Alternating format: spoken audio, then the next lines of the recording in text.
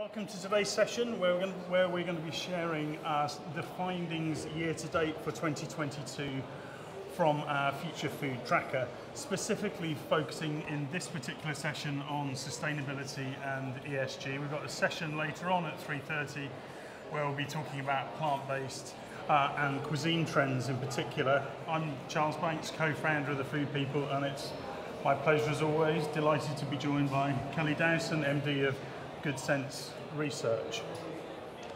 Um, just as a little reminder, some of you might have heard us speak um, at Montgomery events before, but Future Food is a collaboration between the Food People and Good Sense Research, where what we're doing is grounding the Food People's um, food trend foresight in Good Sense Research's uh, consumer readiness insight.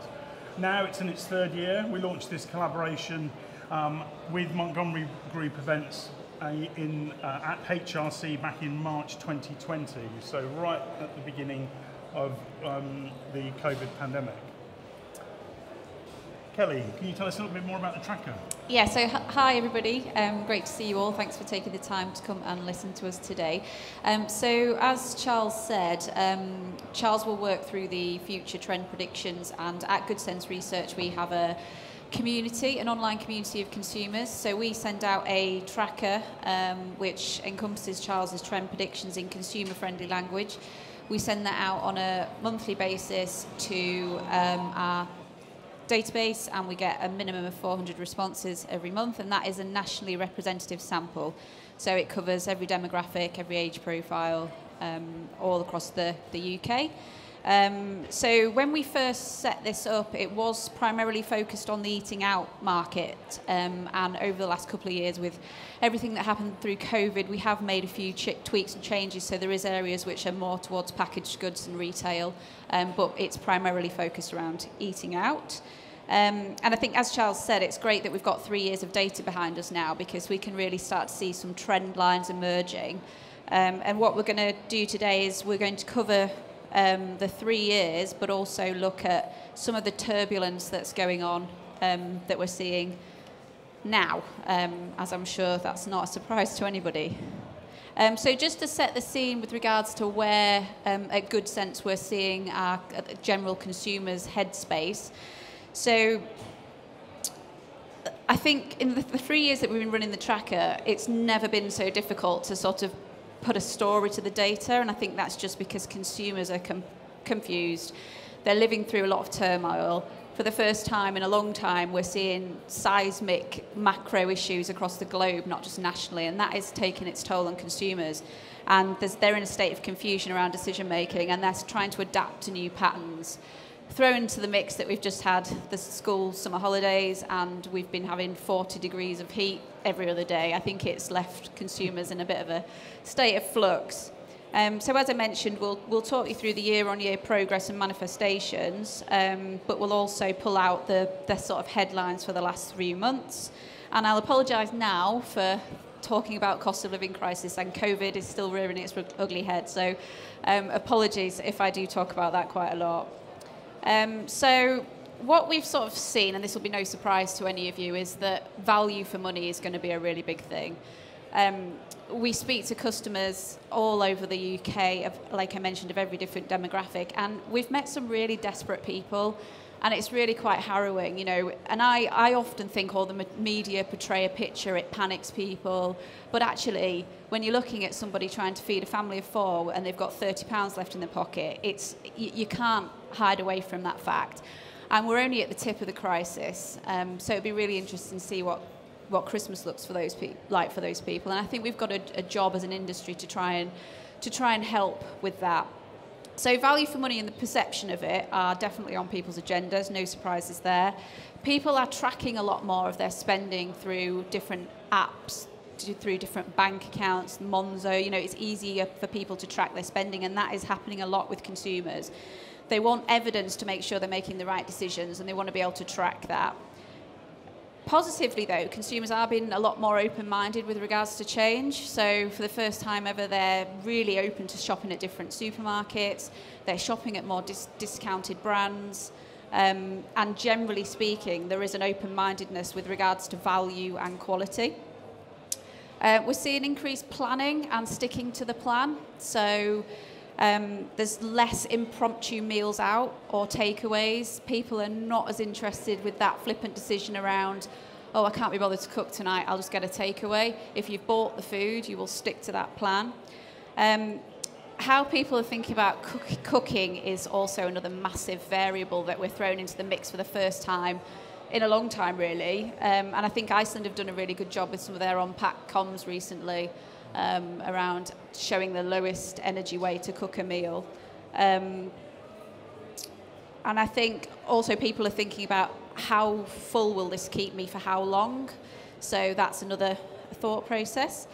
Um, and I think one of the overarching issues with regards to the sustainability piece is that, and you'll see this quite a lot today, is that consumers are currently prepared to make compromises to their principles because we're not living in an ideal world. Um, so just to summarise, what we're going to go through is year on year, but the last three months of data have been quite choppy. Okay. Um, before we get into the detail of the tracker, sorry, getting a bit of playback. Um, I wanted you to give you a sense of, in consideration of the things that Kelly's just talked about, uh, sustainability and ESG is, is here to stay. And I wanted to give you a sense of some of the longer term shifts that are existing within food and drink, but also outside of food and drink as well. so what do we expect to see 23, 24, uh, and indeed beyond that?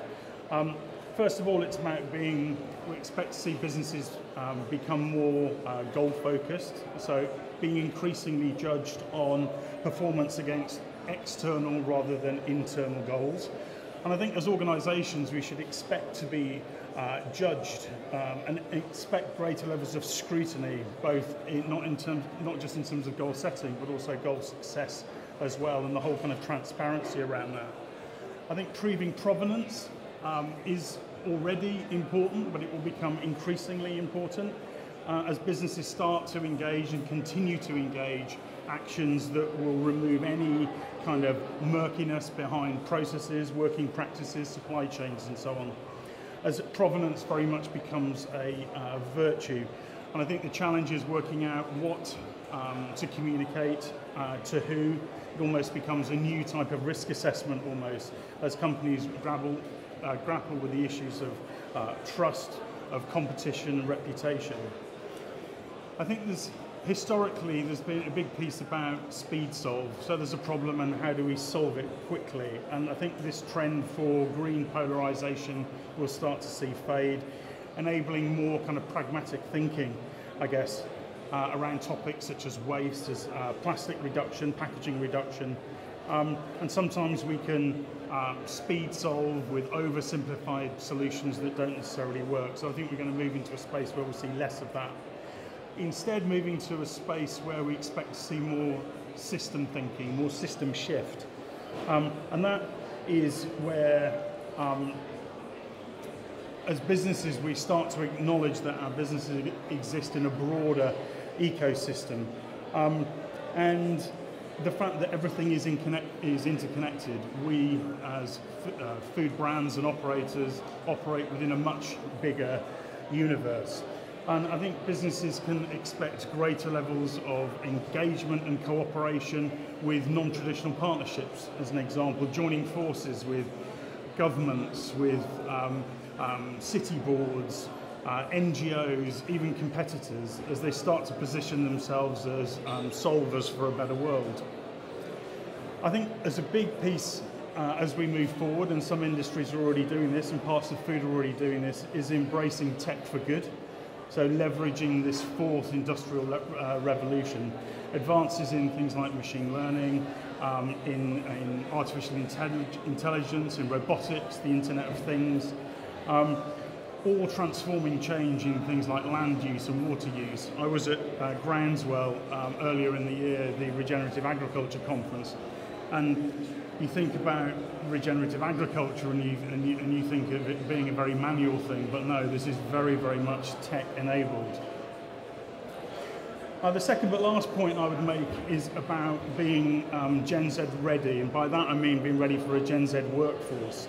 Gen Z will make up much of the workforce by the time we get to 20, 20, 2030, and these kind of post-millennials are being targeted as the true generation that can get to the facts very, very quickly um, at the swipe on a digital uh, device. They're all about cross-referencing and fact-checking.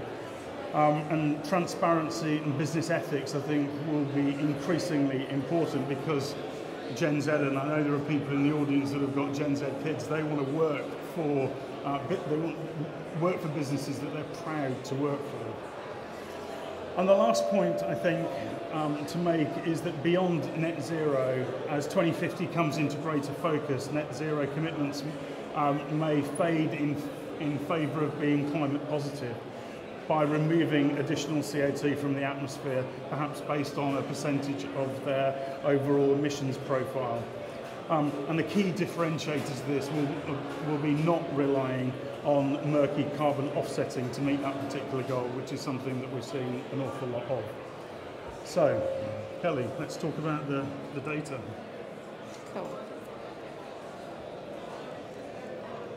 So, if we we're going to start by looking at packaging in general. So you can see on the slide here that the table on the left um, shows the year-on-year changes in data, and we've taken July as the focal point. Um, and then on the right, that's where we're um, showing the changes from January 2020. And the green boxes show where you've had significant year-on-year increase. Where it's red, we've had a significant decrease, and orange shows no change, so it's, it's static. And what we can see from here is that um, recyclable packaging is still the highest, and they are all high, bar returnable packaging. They're all over 50%. I think we've seen um, a significant drop in recyclable, but that's been overtaken by package free. I think the produce sector have done a really good job of this, and I think that it's uh, definitely something that other categories, where possible, can embrace. I think we also had a big spike on that during um, COVID. Um, but yeah, it's definitely something that people need to be aware of, and, and consumers are really interested in it. I think produce, the other big important thing for consumers around that is that they can pick what how much they want. So it's that personalisation and customisation piece which helps tap into that um, reduced wastage. So moving on to um, the next slide, um, and ultimately, again, the same process, same same follow it the same way. So on here we've got sourcing sustainably, sustainably, locally sourced, seasonal ingredients, using ethical meats, and menus with more plant-based options. So they're all still really in, consumers are really interested in them and they're all moving still positively. Even though they have, have stagnated we did see that big spike in covid. We're not surprised um, that they, they have flatlined a little. Um, but i think that the thing that i really want to pull out on this slide is the dip that we've seen on plant-based over the last couple of months so it'll be really interesting to see um, how that unfolds as we move into Christmas and further into the cost of living crisis. I think we're, we're, consumers haven't decided all of a sudden that they don't want to treat themselves. It's just what does that treat mean for people? And we're currently looking at the wider um, topic of meat, which we'll cover in this afternoon's talk. Um, so it'd be really interesting to see what happens there with the, the plant-based options on menus. Moving on to climate positive meats using organic ingredients, environmental certifications and climatarian diet. Top two there you'll see haven't, haven't shifted. We have seen a significant decrease in um, the environmental certifications and we believe that's because it's just not out there currently. Um, and, and where it is, it's not unified. Um, and we do believe that there's a big opportunity for people to to win in this because there is still over 50% of consumers interested in that, and we don't believe anybody's executing that well. We contrary to that, we believe the climatarian diet has seen a significant increase because there are quite a lot of operators out there doing a good job of this. Um, and Charles will come on to um, give a few examples of those later on. So this is around wastage. So this has always been a very interesting one. I've enjoyed tracking this one, and you can see here there's the vegetable and fruit using the whole part of the um, item. That's no surprises, a lot more appealing than than the other two, um, but they are all still plateauing at positive. So I think there's a real opportunity again in here around how do we educate the consumer, how do we show that this is better value? Back when we had the last economic crisis, there was a lot of undesirable meat cuts that became a lot more utilised because they were better value. So I think there's definitely an opportunity here. Um, as mentioned before at the beginning, consumers are a lot more open-minded. And what we've seen here with regards to cellular meat, you can see generally the red lines are going down, green and orange are going up. So people are becoming more interested in cellular meat. And I think even though it's not currently available in the UK, it's definitely something that operators and retailers need to be ready to go with because consumers are looking for different ways to eat, be it affecting the climate or affecting their, their purse strings. On this slide here, you can see um, we've mainly had, well, we've had stagnant growth, but um, healthy soil leads the way massively here in terms of those initiatives. It's just a more tangible thing for consumers to get their head around, I believe. It applies to a lot of different categories, and it's, it's an easier one for them to get their head around. So no surprises there. Um, and even though they're stagnant, they've still grown year on year, so it's definitely not something that can be ignored. Even if the cost of living crisis does make consumers think a little bit differently, the people who are winning this are the, the people that keep ahead with these initiatives. So where we've seen the, the biggest drop is on these ones. So we've got shorter seasonal abundant menus, shorter supply chains, going to venues that use homegrown ingredients, estate branding, using urban farms, heritage seeds, and using insects. So the majority bar urban farms have all significantly dropped from last year, um, but they are still in line or ahead of the, when we started the tracker. So I think it's important to reference that. Um, and I think one of the observations that we've got is that this group of initiatives are a little bit more linked to consumer. It's closer to them and easier for them to understand, and the decision lay, lays more on them than the operator, whereas the others were a bit further away. And I think that's something that we hear from consumers all the time. They want to be, um, they want to help the planet, they want to do their bit, but they ultimately want you guys as operators to take that decision away from them. And now I'll hand over to Charles to give you some examples of what's going on in industry.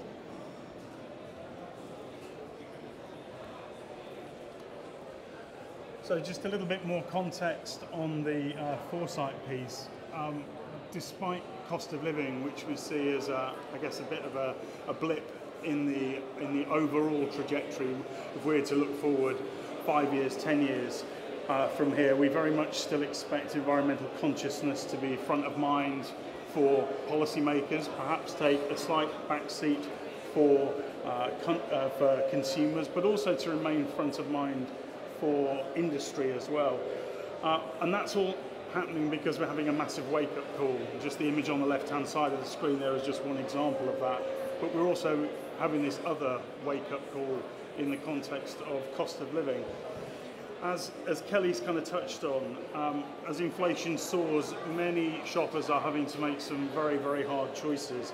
Compromises not only around ethics and sustainability, but also health as well. There's a really interesting piece of work carried out actually by the Food Standards Agency very recently that suggests that 65 consumer, 65% of consumers have already made some changes, some switching within what they're buying, um, both out of home and uh, in home. And it's not just affecting lower income households. For most people, the sort of wider ethical um, uh, and food system interests take a slight back seat in times of financial hardship. I think one of the things to bear in mind, though, is make no mistake that people still care. I think when reading that report from Food Standards Agency, it came across to me loud and clear that consumers still care. They want brands to do the right thing by the planet, um, and cost of living won't change that. Another stat from the Food Standards Agency 60% of consumers said that they worry about the impact of our food system on the environment.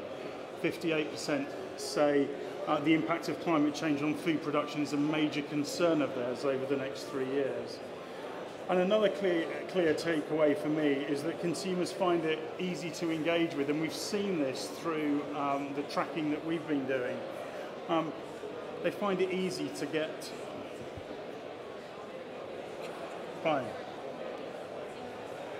Uh, they find it easier to engage um, with uh, simple concepts like uh, food waste reduction or packaging reduction, but the more complex, the more abstract ones require a bit more consideration um, and consideration that they're probably struggling to muster now in the context of um, cost of living crisis. Sorry, Charles, can I just interrupt? Can you? Um, is everyone hearing Charles okay? Right. Sorry?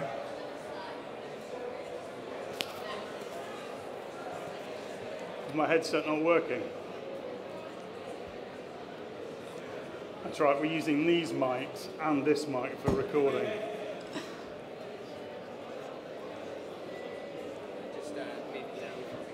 Go on, then you go for it.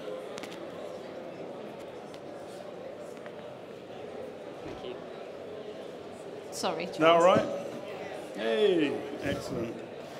I think what we're going to see, and I think the smart brands out there are, will define sort of better, affordable products are those that are those that work for um, consumers, for the animal, the environment, for the consumer in terms of taste and nutrient density, uh, as, as, well as communities. And I think those smart brands will be those working tirelessly to remove price and variety and geography as a barrier to better food. So looking beyond the immediate crisis, and I'm looking, trying to look further out here than the immediate what's going on, where are the areas of traction that we expect to see over the next few years? Well, the first one to call out is about less but better meat and regenerative and agroecological farming. Regenerative agriculture is very much a buzzword of the day and expect that buzzword to continue well into the future. But with a shift from discussion uh, about principles um, to outcomes. I think that's the really important thing. There's going to be there is growing concern already out there about corporate greenwashing when it comes to uh, regenerative agriculture. So we expect to see greater scrutiny on organisations really de delivering on the results of those promises, those on-farm metrics. Some of the images on the screen there are great examples of some of the things that we're seeing. Um, Ethical Butcher, a great example, who are putting that into practice through the meat that they're providing into restaurants and also direct to consumers as well. And then at a corporate level, some of the work that Unilever and some of the big uh, players are doing as well.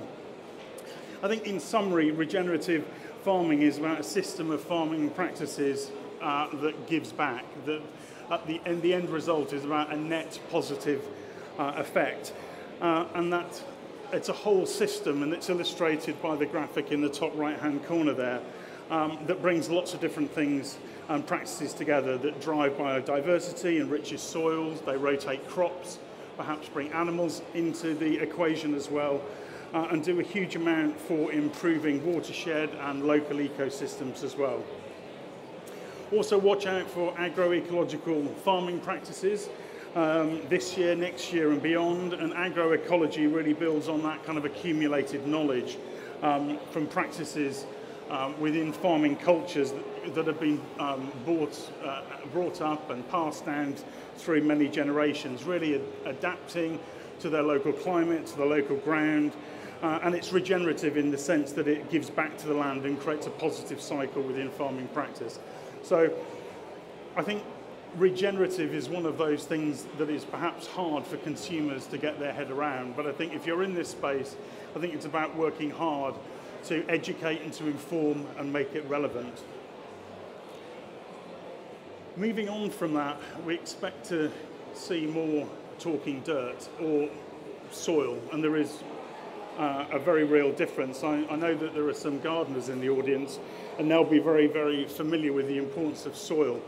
Uh, it, re- it remains um, a primary bus- business asset, obviously, for a farmer, but the importance of healthy soil goes far beyond just the farm gate. Obviously, it's has supported human societies uh, for uh, millennia, um, and it is the platform uh, for which all um, species uh, are, are built and, and, and, and support. So, as such, soils need appropriate and sympathetic management to ensure that they function as they should. They're remarkable systems, uh, they're extremely complex. Uh, anybody that's been watching any of the programs about the, the plethora of networks under the ground, how plants and so on communicate is, is uh, absolutely mind blowing. The amount of living material below the ground uh, is almost equal and often more so than that above the ground one handful of soil contains many, many thousands of microorganisms, all working in harmony to regulate the soil, regulate climate and our environment. And soils function by virtue of the way that they are uh, put together and the interactions that uh, occur between them with the sort of myriad of physical, um, chemical and biological components within, within them. And these occur in this astonishingly complex labyrinth of connections in what's called soil biota. And that is basically all the bugs, all the organisms, all the, um, all the connections, all the earthworms and mites and all of that kind of thing. All of those regulate uh, how water and, and air and oxygen are held in the fabric of the soil. Um, and also they control how gases pass, um, uh, carbon uh, sequestration, um, it's an incredibly complex system. Um, so it's, it's very, very important. And we expect a growing level of education um, over the coming months of years. And it's really heartening to see how that's resonating in the tracker. I think because it's real. You know, if you know people often walk, you know, you walk on soil, even if you don't have a garden, you might walk in parks. It's a relatable thing. So expect to hear more talk about soil and also expect to hear more about feed. Um, we're seeing an increased level of awareness and differentiation based on what animals are eating during their lives, whether that's pure grass fed, whether that's eating herbal leys uh, to improve uh, the feed quality, but again, uh, herbal leys also improve soil structure, again, benefit uh, carbon sequestration, um, improve biodiversity, attract more birds and insects.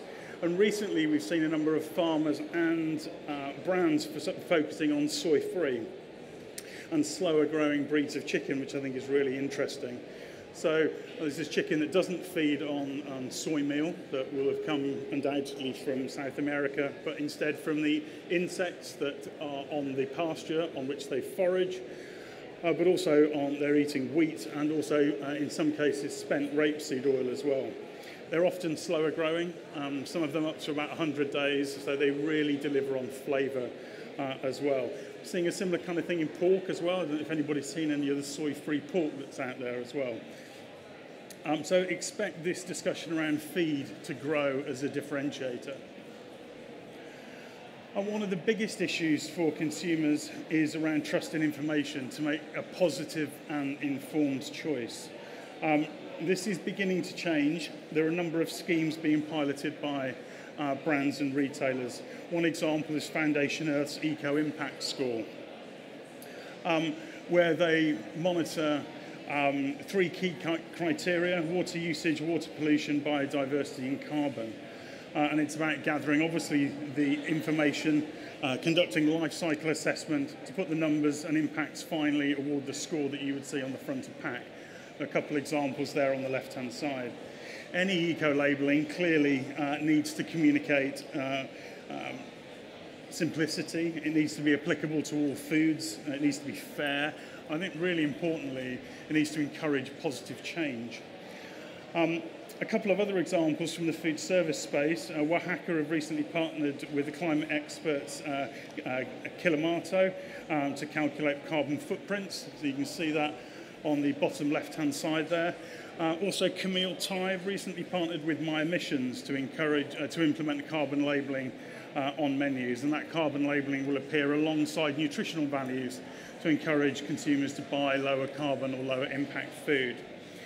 This is great. Um, currently, there are many systems. I think that's one of the challenges, and Kelly touched on this. They're all providing visibility, but the lack of unification will undoubtedly cause some confusion for consumers. Um, ultimately, we expect to see some policy in this space, um, but not in the immediate future. Again, despite cost of living crisis, we expect to see brands and operators that occupy this space um, to make the experience and the communication around it more engaging and more empowering. I think new levels uh, of access to information have transformed how consumers make food choices, and many of them are hungrier than ever um, to um, take personal accountability for impact. And this is some examples of, uh, of brands and businesses that are tapping into that. I think we'll see increasingly brands uh, standing out in this space, working hard to communicate their message. And although um, traction during cost of living crisis may be muted, I think our experience from previous recessions show that brands and businesses that invest to stick to their principles in this time will ultimately reap the rewards um, when we come out. And the examples on the screen there, you've got VFC there on the left-hand side, uh, Honest Burger and Ethical Butcher. We've got more champions ever, than ever before in the food service space, which I think, and hospitality space, which is really exciting. There's never been, really, despite everything that's going on, a better time to eat out in a sustainable way. And there are many more chefs leading the charge when it comes to reducing waste, serving less but better meat, making veg led not only tasty but also cool as well. Um, there are many more outlets now focusing their work um, with uh, local and seasonal growers, zero waste, slower growing breeds, and older meats, things like uh, ex-dairy cow and uh, yaw. Some even going as far as developing entire closed-loop systems altogether. So hospitality now has many more champions. We have the obviously the ultimate master, Doug McMaster, but also new new people coming along. Uh, W5 Collective, I think, is really interesting what they're doing. They build themselves as London's first climate positive restaurant. Um, Chantelle Nicholson has long been um, uh, fighting for, uh, fighting the sustainable fight, I should say. She's taken her less but better meat and veg forward approach to her new restaurant uh, in Mayfair, Apricity. And Native, I think, is also a really, really nice uh, example. Ivan uh, Tisdall uh, Downes and Imogen Davis. They're great young pioneers of uh, British wild food.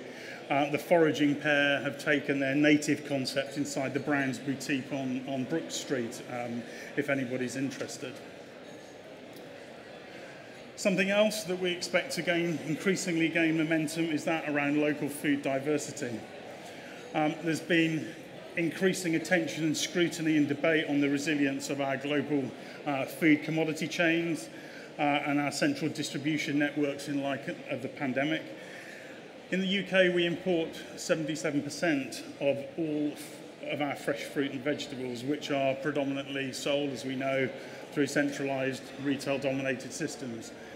I expect to see much more citizen demand for greater diversity of nutritious, uh, culturally appropriate and local foods. The example in the centre there uh, is the 25 mile menu uh, from the Pig Hotels.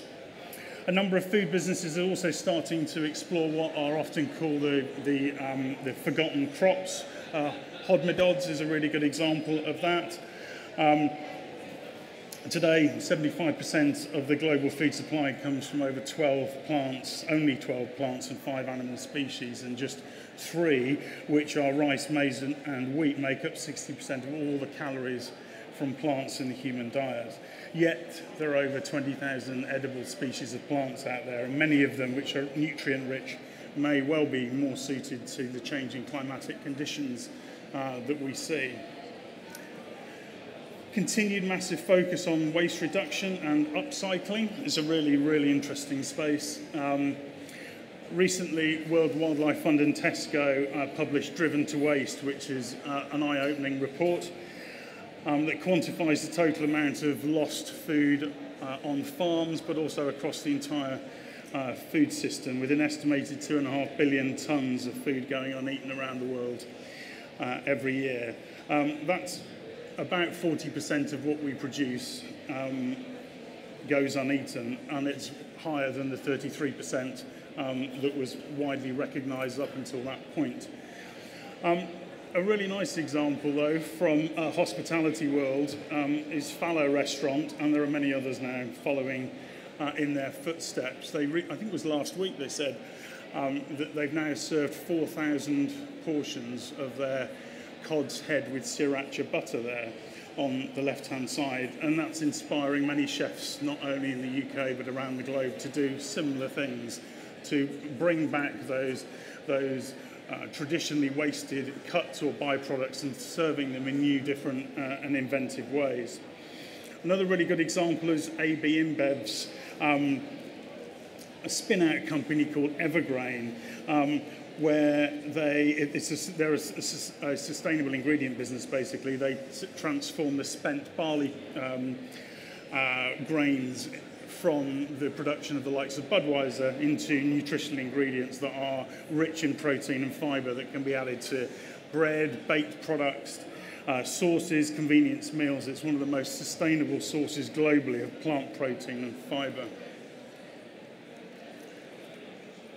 And the last one um, Kelly touched on, the one that we put on the tracker now a couple of years ago, which is about the new protein system the possibility of creating meat and other products in the laboratory is moving ever closer, despite the challenges, which we, we can all recognise as being numerous, consumer acceptance being one, but we can see that the principle of that at least is beginning uh, to edge to a, a position of greater acceptance, cost, uh, scalability, and of course regulatory approval. To date, there's only one lab-grown product that is approved for sale, which is the Eat Just product, which was approved for sale in Singapore in December 2020. But just this one example has shown that those barriers um, are not, they're difficult, but not impossible to overcome. But we're seeing this discussed in a far more mainstream space. So it is part, it is, uh, part of the consumer psyche. Um, it was recently featured, did anybody watch Earthshot? Yeah. Um, and I'm sure a few of you might watch things like Countryfile as an example. Three million people in the UK watch Countryfile every week. And we're seeing it also reported in the, um, the mass market uh, media as well, in, in printed papers and magazines and so on. This type of technology receives the developmental support of some governments, um, particularly in Singapore for obvious reasons. It's an extremely small landmass and Israel, combining with US led tech and investment. But literally over the last couple of weeks, uh, the Netherlands government is helping to make cell based agriculture a reality. They legalised the sampling of cultured meat. So if this event was happening in the Netherlands, you'd be able to sample it and try it. Um, but they've also uh, allocated 60 million of public funding uh, to research in this space. It's going to be really exciting to see uh, where they prioritise that investment over the next kind of few weeks. So I think we've said this before, but it's really important to consider what this disruptor could mean for your business, brands, and in general our attitudes uh, to meat production. One of the really interesting things um, is the fact that scaling of this doesn't have to mean huge factories.